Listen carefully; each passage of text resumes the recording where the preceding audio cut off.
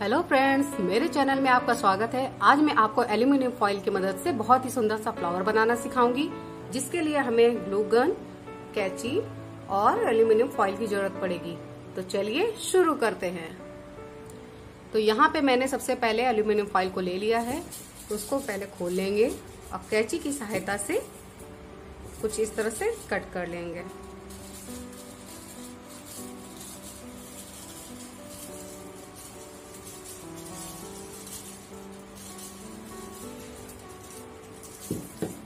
इस तरह कट से कट करने के बाद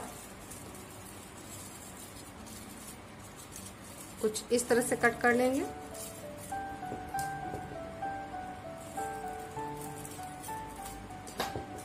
और फिर इस तरह से।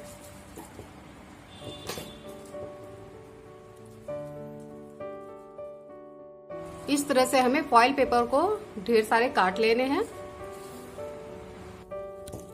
इस पेपर की चौड़ाई लगभग डेढ़ इंच है और लंबाई तीन इंच है। तो इसको हम सबसे पहले इस तरह से करेंगे और इस तरह से, और ऐसे हाथ आएगा, कुछ इस तरह से कर लेना है। तो सभी को हम इसी तरह से कर लेंगे।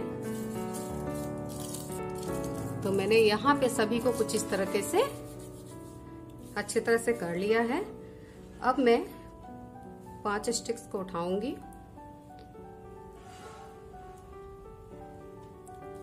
और यहाँ पे एक बराबर करने के बाद हाथ से कुछ इस तरह से मोड़ देना है। और इधर तरफ़ से भी।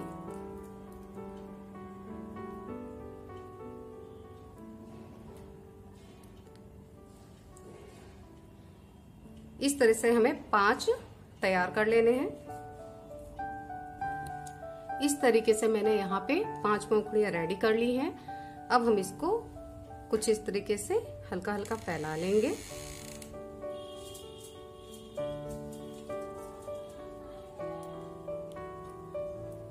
सभी को हमें ऐसे ही फैला लेना है। सभी को मैंने यहाँ पे फैला लिया है कुछ इस तरीके से। अब यहाँ पे मैं एक फॉइल पेपर लूँगी, छोटा सा। उसमें एक मोती रख दूँगी। अगर आपके पास मोती ना हो तो आप रुई का भी यूज़ कर सकते हैं या कोई कपड़ा या कागज़ का भी यूज़ कर सकते हैं। इस तरह से उसे कर देते हैं। इस तरह से करने के बाद ग्लू गन की सहायता से हम एक एक पंखड़ी को उठा करके इस तरह से चिपका देंगे।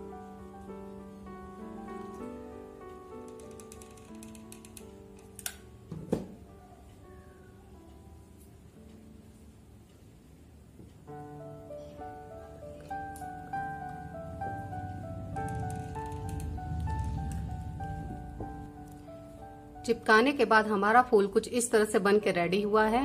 लगना, लग रहा है ना ये बहुत सुंदर?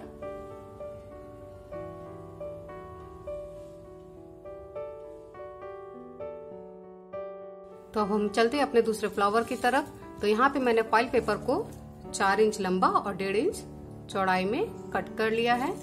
अब सेम उसी तरह से, जैसे मैंने पहला वाला फूल बनाया था, उसी तरीके से हम इसको कुछ इस तरह से मोड़ देंगे। मोड़ते हुए इसे अच्छे से रोल कर देना है। इसी तरीके से हम सभी को कर लेंगे। पाँचों पेपर को इस तरह से करने के बाद हम सेंटर में इस, इस तरह से दबा देते हैं।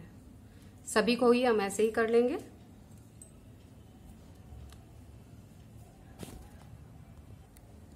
सभी को मैंने यहाँ पे इस तरह से दबा दिया है।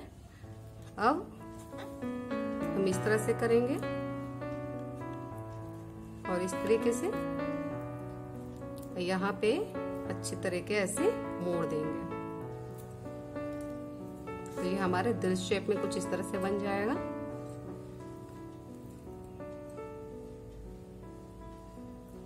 यहाँ पे भी हम ऐसे करेंगे, दो उंगलियों के सहायता से ऐसे और ऐसे। और यहाँ पे हम इस तरीके से मोड़ देंगे।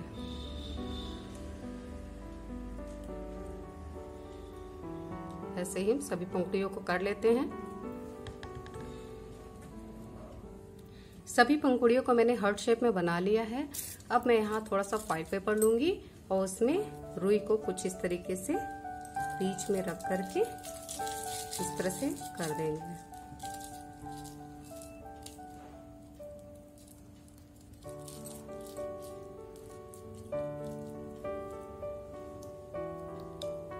अब ग्लू गन की सहायता से यहाँ पे सभी पंखुड़ियों को जोड़ देते हैं। कुछ इस तरीके से।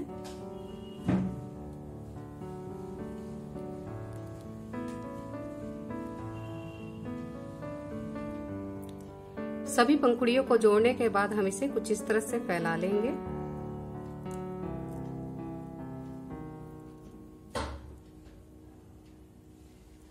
तो आप देख सकते हैं, यहाँ पे हमारा फूल कितना सुंदर बन के रेडी हुआ है।